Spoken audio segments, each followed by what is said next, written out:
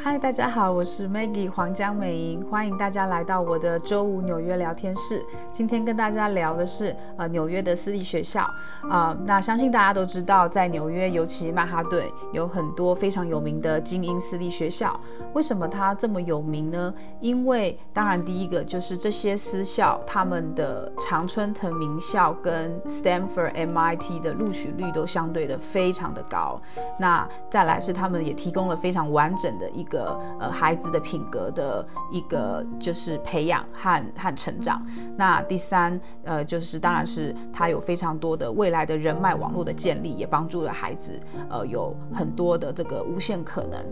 那所以呢，很多家长都趋之若鹜，希望可以去申请这些学校。那这些学校的学费当然也不便宜，呃，一间学校的平均一年学费大概从五万五美金到六万六万三美金不等，啊、所以是呃算是对于一般家庭都是一个很大的开销，嗯，但是呢，还是有很多的家长愿意去尝试，因为他们呃，例如。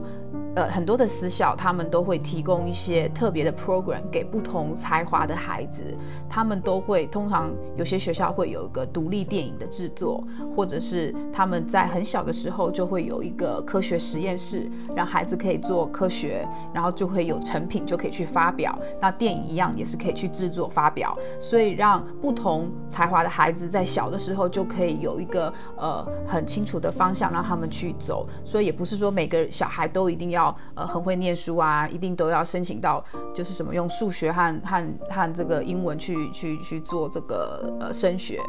呃，那么这些学校都在哪里呢？大部分都在上东区和上西区。上东区八十街到九十几街，上西区的这个八九十街那边也有一些非常有名的学校。谢谢。